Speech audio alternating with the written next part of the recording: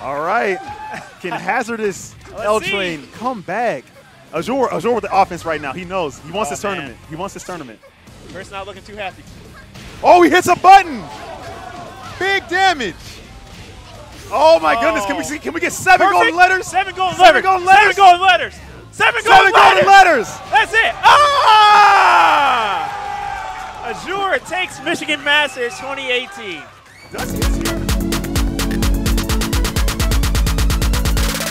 Hey guys, I'm the Philocypher. I am a life coach and also a competitive gamer that's into the world of person development. And I'm trying to help you guys level up inside and outside the virtual arena. Uh, today, I have a guest that I actually met in person over at Michigan Massacre. Michigan Massacres, Michigan Masters. Uh, he is the Tekken, uh, I guess, uh, winner, Tekken champion for Michigan Masters of 2018. Um, his name is Azure. Hopefully, I'm saying that properly.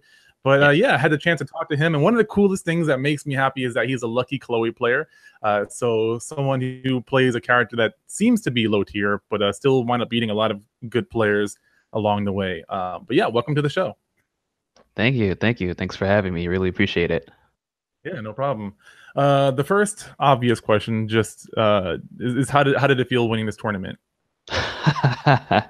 um, well, you know, I've kind of been uh, bouncing in the local scene for a little bit. Um, actually hasn't been that long. Um, uh, pretty much started when Tekken 7 pretty much uh, hit shelves.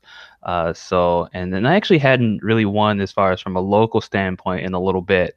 So it was kind of good just sort of to to get that off of my back as well. Um, you know, just kind of from a personal standpoint of of you know showing I still got it. You know, I can still uh, I can still hang with the rest, and it was also nice just you know overall to get um, just individuals from uh, different states out. You know, it was actually a uh, not my first regional, but uh, certainly one that um, I remember. It's the the first win I've sort of had outside of that local scene, so feels good. Cool, cool. Yeah. Um, so you've been playing Tekken since since it came out. Um, I guess how did you get introduced into fighting games? Ooh boy. Um that uh yeah, that question goes way back into yesteryear. Um but uh I I've always enjoyed uh fighting games. Uh just kind of grew up playing them with my family. Um most notably my my older brothers uh, were pretty much into it for the vast majority of uh, their lives. So, you know, here's young me at uh, 5, 6, you know, years old really getting into to Virtual Fighter 2 and the original Tekken and you know just kind of just Mm. stuck with it and ran with it and it's always been my favorite genre of games, so and more than likely always will be. Yeah. What uh what do you think pulls you towards towards fighting games? Mm, um, I guess the challenge more so. I've I've actually have always liked any type of game or competition. I, I treat lots of things like a competition. Um, and I kind of liked how uh, fighting games always kind of had this uh, this extreme chess factor to it a little bit. Um, so and I think that's kind of where I draw a lot of the the lore for fighting games, the strategy behind them, but then also the the practice it takes to become knowledgeable in just certain situations. So i the challenge mostly, it's it's the one thing I think that kind of keeps things ticking for me. hmm Yeah, I, I like uh, a lot of times I consider fighting games to be like high speed chess uh, because there is that element of knowing the rules and being able to manip- manipulate that, but also the fact that there's a human element that you're facing somebody else and having to actually uh, study their moves, study what they're going to do, and, and have some good predictions uh, or countermeasures for for the actions that they take. So it's very interesting, and it's e- even more interesting seeing it uh, in different fighting games because I'm not very well versed in in Tekken right now. Um, but like just from the things I know from other fighting games, it's really fascinating to see that and uh, to see the the craziness that ensues in games that I'm not as familiar with. What do you think? Like, like what is your process for for learning uh, fighting games, specifically Tekken? I think I approach most fighting games the same way. Um, I'm an individual that uh, I like to see and study what others have uh, really picked up on a game first. Um, so one of the first things I really do is uh, hit the you know hit boards, hit pretty much online in terms of uh, of resources that I might find, uh, uh, character data, you know, all that type of knowledge, uh, combos that uh, you know somebody may have already thought of, Um, really, I'm not an individual that likes to try to think of all of these things, to, you know, by myself at first. So that's, I think that's kind of where I get my uh, my edge to be able to pick up on things quickly. Um, I'm more of a studier, and then at that point, once I've gathered all the data that uh, others have kind of gathered, I, I kind of take it, think outside the box a little bit, see if I can put my you know my own spin and and and uh, knowledge towards kind of taking that to the next level. So that's it's more or less how I approach most fighters. Hmm. Uh, kind of interesting question that just popped into my head is is how do you remember or like what, what's your your process or or how do you remember a lot of the information that you're intaking? Like how do you you see all this stuff you you understand it you learn it and then you you take it to the lab whatever. Like what's your process for being able to keep all this in your brain? Oh yes. Um you know repetition for the most part. Uh, i think there's a a practical way of approaching uh certain um I guess practice sessions, so to speak, and then there's sort of an impractical way. Um, I, in all honesty, I kind of like to make games within games, if that makes sense. So hmm. just even kind of approaching um, Tekken, for instance, um, you know, if it's a certain move that I'm really trying to, you know, nab and understand its animation, so you know, whenever I see this move, I know I can punish it with move X or move Y. Um, you know, I might play a little game. I might uh, throw um, in the training session or in practice um, a few moves that aren't that move. Maybe try to set that to a low priority and pretty much train myself to, you know, uh, as soon as I see that particular animation to, to act appropriately. Um, so just eh, kind of keeping things, you know, fresh and from that particular standpoint. Um, I think I treat most fighting games the the same way. Uh, the more I can make it's fun to learn, the more I learn and the more I can kind of keep things uh, keep things fresh. Hmm. Uh, can you tell me a little bit more about that when, when you say a game within a game? I know you just kind of elaborate a little bit, but like what's what's the process with that? Oh yeah. So uh, so for instance, um, just to kind of give a few other ideas, um, you know, essentially have fun, have fun training. So if it's something like uh, uh, making like flashcards, for instance, outside of uh, outside of work and outside of my play, um, just kind of you know studying frame data, or uh, even in the practice sessions themselves, um, you know, just kind of uh, randomizing moves and patterns uh, of of an opponent or a training dummy to see if I can act appropriately. Uh, those are the biggest things. Um, even in terms of uh, character knowledge, if if it's something I don't know, just kind of testing myself by going into the boards and and and you know trying to study essentially study what's what's out there uh, as far as knowledge and kind of come back to it later. So um, I'm an individual. I take a lot of notes.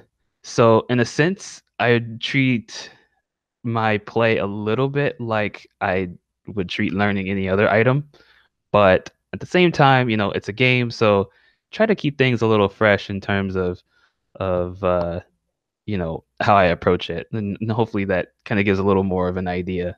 That's a good question, though. thank you, thank you. I appreciate that. No, I, I appreciate the analogy too, um, or the explanation. That makes a lot of sense. Uh, a lot of people, I think, I hear this a lot too. Is that training isn't fun? I made a whole uh, video about about that whole topic, but um, yeah, it's interesting that you found your own process for making uh, making a game within a game. That's really cool. I think a lot of people can actually learn about that. Do you actually like? Uh, do you talk about this process pretty often with people? Um, somewhat. I, it sort of when it comes up, Uh because uh, I think you're mm-hmm. right. You know, I think that's the big thing when, uh, when sort of asked the same question. It's just well, you know, it's not it's not as fun to not play matches, and for me, I got my approach. I'm like, actually, it's exactly the same amount of fun. actually, it may be more fun in some instances, um, because you know, it's just trying to become a fan of the learning process. I think is is the biggest hurdle for most. And you know, if you can put your own twist on it, kind of make it interesting for you, then yeah, that's that's when things really start to click. Yeah, that's that's really cool. Uh, something really interesting that's that's worth knowing is that a lot of uh a lot of the entrepreneurs that I follow, like maybe you know Gary Vaynerchuk or, or something along those lines, uh, they they talk about enjoying the process of of learning more than the actual like you know the work you do behind the scenes you know technically be the training mode for for fighting game players. Uh, but that work is well one more important but also uh, needs to be more enticing because that's where you're going to spend most of your time. You know it's probably like you know the 80 20 rule 80% or 20% of your rule your work makes 80% of the results. And um you know i think the training mode is in, in learning just in general like finding a learning process is where most of your time is at. And then when you go to a tournament that's like a small percentage of of like the overall work that you've actually put in. For sure. Uh, so it's it's really important for people to to find a way to to enjoy a learning process, make it to where it's continual and doesn't get stale, and you're always continually training yourself. That's really uh, it's really useful. I think um, the more we see that in the FGC, the more we're going to see bet- players getting better faster. Um, Because um, um, and, and let me know your opinion on this, but I definitely think there's an efficient way to learn, and there's also an inefficient way to learn. Like you can be in training mode uh, for hours and not really get much done versus like being in there for 15 minutes and, and getting more out of that than those two hours. Oh, 100%. Um, and it actually kind of ties back a little bit into, um, I guess, structuring training sessions for me is kind of a big thing, especially, you know, as you, um, as you kind of plateau to that stage of, you know, here's uh, real life versus your challenges as a gamer, you know, your time becomes finite. Uh, so then your time is finite, so you essentially want to uh, try to maximize your training sessions as much as possible. Um, I think it kind of goes back to um, one of the examples I give. Um, I have kind of trained some individuals before. Um, I've just sort of given them mentoring and have always sort of pointed them to you know to YouTube resources or uh, online resources. And then I find out you know a few days later um, they might show me um, you know, a fantastic tech or something that they may have figured out or a, a cool combo. And then I kind of scour, you know, my my resources of what I have and and I figure out, oh, I've seen this before. In fact, I've given you this this a video with the same information. You know, so it's something that you've discovered, but with a bit of research, someone else has already discovered that for you and sort of save the time of the discovery process so that you know you can put that towards other stuff. Um, I think that's that's probably the big thing. Um, you know, gather that that type of data first, um, and kind of go go with it from there. Um, there's so many resources online. Look them up. So as far as movement, for instance, uh, just kind of applying things back to Tekken, uh, you know, there's there's ways to practice that. Uh, you know, there's there's whiff punishment guides everywhere for your character versus another character try to find that first before you you know take that take those several hours kind of going through the command list between characters and practicing it that way. So yeah this time time is everything pretty much. That's moral of the story. Yeah in in structuring that time as well. Um, uh, it's something that I don't see a lot of people uh, that I've come across really talking about, uh, and it's always been really fascinating. Like for me, I had to learn about goal setting and structuring your time and structuring your day and stuff like that. And uh, while I, I, have a limited amount that I, can put towards fighting games, I have more so lately been trying to, to do that for myself. Uh, but also noticing that a lot of other players kind of um, maybe some inherently do it and don't realize it. But a lot of people that are kind of on my level or, or not getting better tend to just play ranked mode or um, when they're training, they don't have any sort of regimen. And it's really fascinating because I have a background in martial arts, and I, I think about this a lot whenever I want to train and I feel like I'm not training effectively. Is that uh, everything that you learn in martial arts from your sensei is kind of uh, it complements something else. Like you learn how to throw a punch by itself because you want to get good execution or good form. Uh, you learn your stances and your movements and isolations, and then you learn combinations, and you learn how those combinations actually uh, tie into something useful.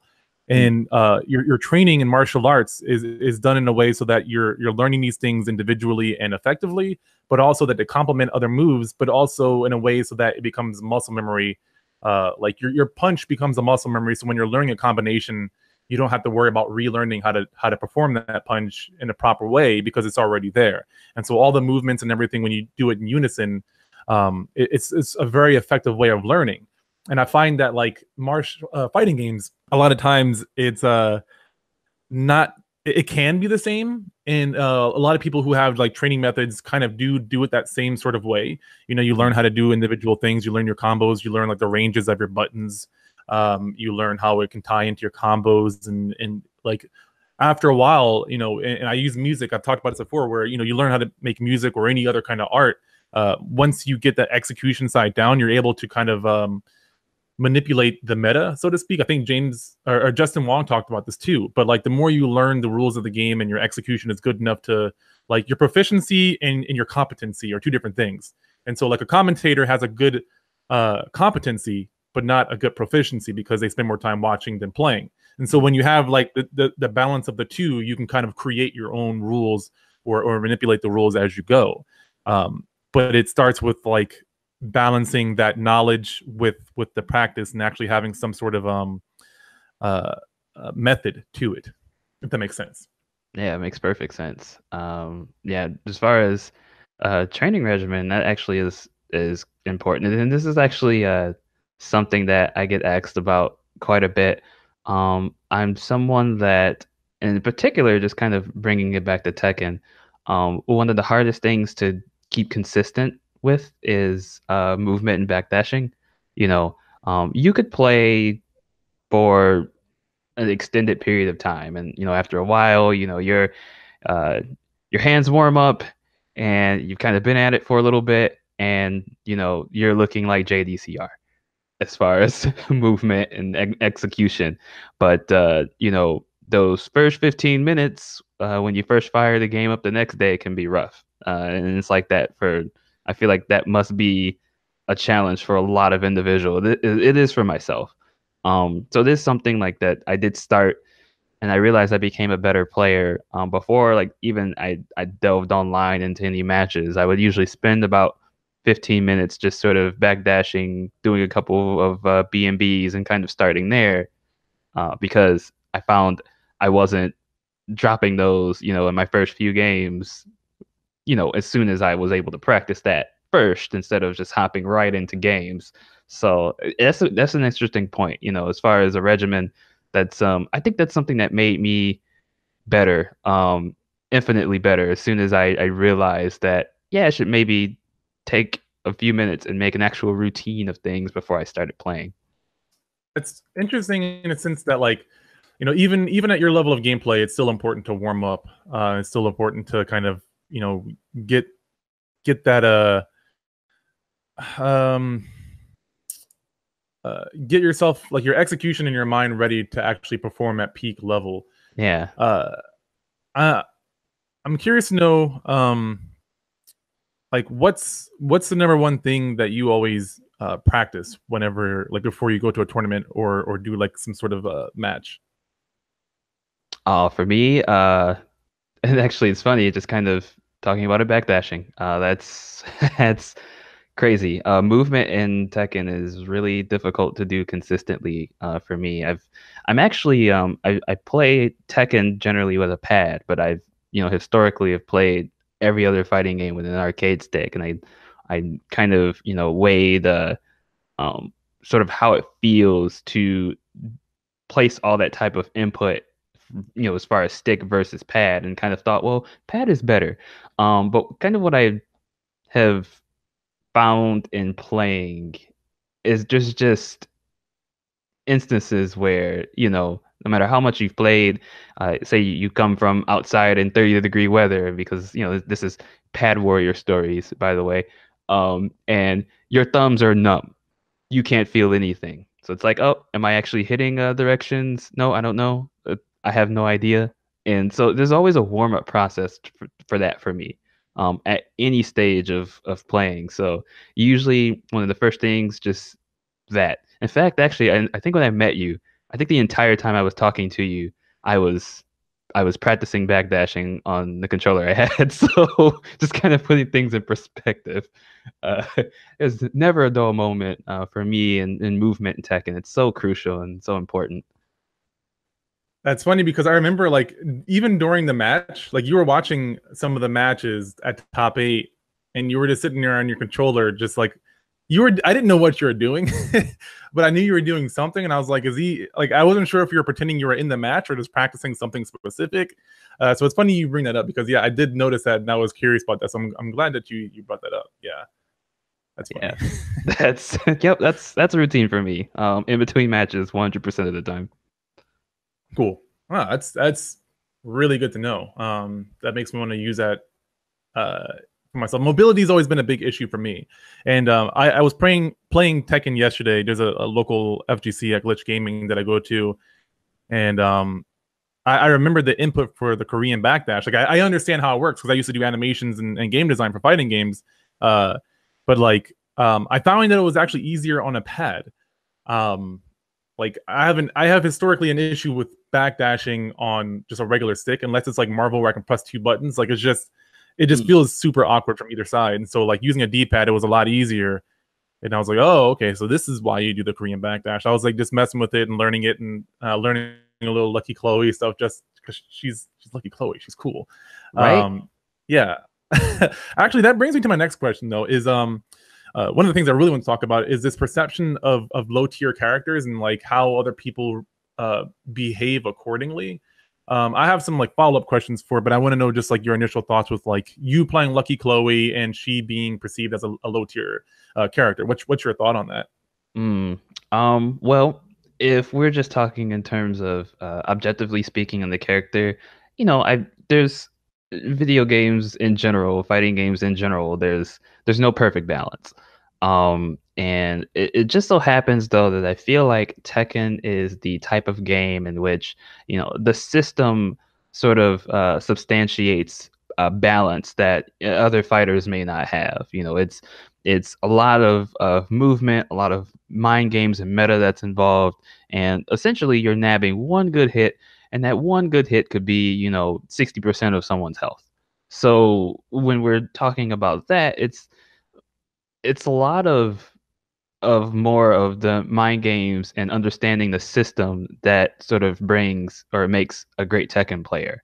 Um, more than it is really the character itself. Not to say that the character can can bring you some um, immediate success and and grave success, you know, but for me, ultimately, I'm not a really big fan into playing the tier game um, you know, objectively speaking, I feel like Lucky Chloe definitely lacks, you know, moves and tools that other characters have, but that should never stop you from playing a character that you enjoy playing. That's that's first and foremost. Um, I'm always an individual where if I can't have fun with a character, then well, I I can't have fun with the game. So just kind of starting from that, you know, I instantly found her super appealing and and then you know the oh she's bad conversations came afterwards and i, I sort of shrugged my shoulders instead of oh well i'm just going to be bad with the character then because the character's fun so that's kind of my take with it yeah no i i completely agree with that uh, there's there's always a debate of like high tier, low tier, and then it always shuffling around during during updates. And then again, I play Street Fighter, so it's a little bit different. And and I saw a lot of people talking about Cammy. Um, I don't know if you keep up with Street Fighter at all. Yeah, um, yeah. Okay, yeah, and uh, interesting enough to me, I don't feel like that character is a, a super strong character, but um, yeah, I, personally, I feel like there's always a way, unless the game is like broken in some really bad way, or the character is purpo- purposely made to be bad, like uh, Dan uh, from Street Fighter Four, or or backwards. Even he's won some stuff too, though. But like, um, the game is always growing. The players are always learning. Um, in my opinion, I feel like it's it's a, a bold statement to say that somebody somebody is probably not going to win if they pick this character. Like they've doomed themselves to to lose. Um, it, it I, I I don't know how much you know about like personal development, but there's like a, a mindset that people have, um, and, and, there's like these these different terms that I kind of want to throw out. Um, I'm trying to figure out the best way to put it, um, just like coaching terms that I've learned, and uh, one of them is is like a, a fixed mindset. Um, I talk about it a lot. It's just the best term that I can think of, where a lot of players have a certain perception that's just like how they are, you know. And, and a lot of times these are, these are the same players that you hear complaining when they lose, and they'll make excuses. Uh, they have this mindset that like this is the way the world works, and like they can't get around that. And these are usually the character, the people that'll play a, a character, but will switch because they're being told that that character is not good and they're not going to win.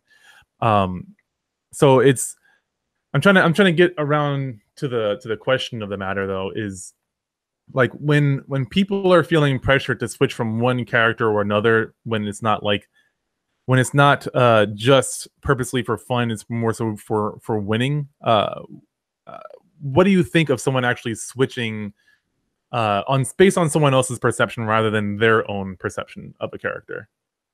Mm, that's a that's a good question. I think that ultimately, um, the way characters in fighting games seem to work, um, everyone has their uh, their nuances in terms of uh, their play style, uh, what they like, what they don't like out of specific characters, and you know over time you sort of develop a proficiency, you know, based on on the type of character. Uh, for instance, um, I always liked Chloe because I like characters that um, have a lot of setups and shenanigans. Yes, I'm one of those individuals. Um, and I think that she has a lot of that. You know, she she substantiates uh, um, a lot of uh, poor pressure in terms of certain situations. But all I really need to do is get that one good hit, and you're you're knocked out. So that's sort of my kind of concept of why I enjoy the character so much. And and I love characters that play um, similar to that. Um, I, I, delved a little bit into uh, uh, Karin in uh, Street Fighter Five. She's a lot stronger, but she, uh, as far as you know, even just kind of talking in season one, just kind of bringing it back in Street Fighter, um, she had a lot of uh, of interesting setups and and and shenanigans, particularly on the wall that you know I found were really interesting, and that's that's kind of what I like out of a character. I like setups. I like making people, you know, making people's scalps bleed. Um, that's kind of really what I enjoy. So I guess kind of tying it all back, um, you know, you should play essentially who best suits your character style. And as far as switching for it, you know, if you have the mindset between different, you know, uh, styles of character, you know, more power to you if you see that the tools are are in your favor. But ultimately, for you know the followers of that that may not have that type of knowledge or proficiency between character types, you know, honestly, I feel like a lot of players give up on characters far too quickly, or they, you know, they let the uh, the hype or lack of hype sort of you know dictate the the the choices that they make and the characters they they select. Um, and the developers is kind of the same way. I think one of the things just kind of tying it into Tekken that I've always enjoyed, and Namco games in general, actually, Soul Calibur is one of them as well, um, for better or worse. There's generally not very many substantial updates to their games. Um, they may roll out with one update, and that's kind of what you get, you know. And I think in doing that, it kind of forces the players to you know, learn more about their character and delve deeper into the character itself, rather than you know um, play plateau and then uh, get that mindset of oh well you know my character is going to get buffed in two months anyway. Um, that's I don't feel like that's the right mindset. So hopefully that hmm. kind of answers a little bit. Yeah, yeah. Uh, there's a couple of follow up questions. Um, one is what's what's your definition of of shenanigans? Oh yes, good, good. Um, so I feel like uh, something that maybe, and that's actually that's a great question. Something that's that's really difficult to uh, to deal with at first glance, or I guess something that you uh, may be able to thrive with because of lack of character knowledge from the opponent side. So that's for me, for instance. Um, I enjoy Lucky Chloe not only because of the fact that you know she takes a lot of damage and she hits like a truck, um, but also the fact that she she requires a lot of training in order to defend properly. Um, and so it also helps me, you know, think of of unique ways of of trying to fool the opponent into thinking, okay, you know, um, I have advantage here, or I can throw out this button. Um, and so, like for instance, her Kali roll that she does out of back turn is probably one of my favorite moves, um, because of the fact that it, it crushes high and mid, and so there's a lot of um, there's a lot of training and uh, discipline that kind of has to be done from the opponent side, um, not to hit buttons that would generally work in scenarios that um, that other characters can put themselves in that are similar. Um, you know, I, I like characters that you're able to practice and and you have to learn how to defend as a character rather than the system itself.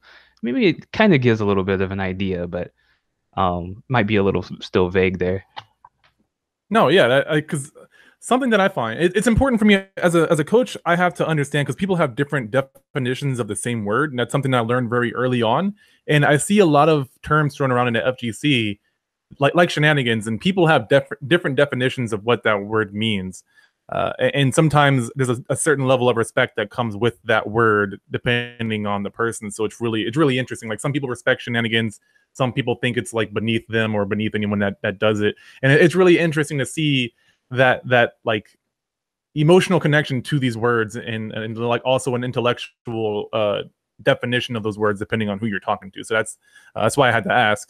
Um, the other thing that you touched on was uh, plateauing, and um, it's really interesting because yeah, in Street Fighter it gets it gets patched fairly regularly, and and something that I see uh, more so in a mentality than a skill set is is plateauing a lot. And uh, there's a term called the the OK plateau. Uh, and if you think about like driving or anything that you do every day, uh, you get just good enough. To, you know, if if you're at a job, you you work just good enough, or you learn your skills just good enough to not get fired for the most part, or you drive to get from point A to point B, uh, which is weird. You know, if you think about it, because you put tons of time into driving. Why aren't why aren't we all like race car level drivers after like ten years of True. driving? You know, it's because we get this certain mindset where it's like, okay, I'm good enough, and you you you switch to your autopilot. You know, you, you see this a lot in fighting games, but I think it happens on different levels for for different people. Um, and uh, that's um, one that does happen in, in, Street Fighter. I find a lot of other fighting games because um, they have these mental blocks between like, oh, this character is strong, and going back to like tiers and, and, and what a character can and can't do.